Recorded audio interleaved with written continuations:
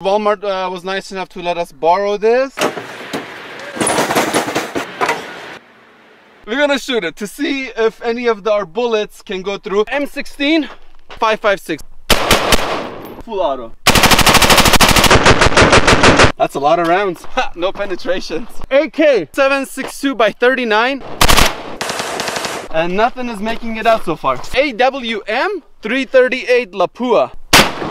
Nothing is coming out, not a single bulging. 408 CheyTac M200. There's the 408 CheyTac. One, two, three, four. 408 did it, huh? 50 BMG. Here's a tiny little baby 556 that AR-15 shoots, and there's a 50 BMG. No, Wait, what? Ay, cabron, don't come out. The only bulging we got over here. 408 is doing so much better. 50 BMG is the old news.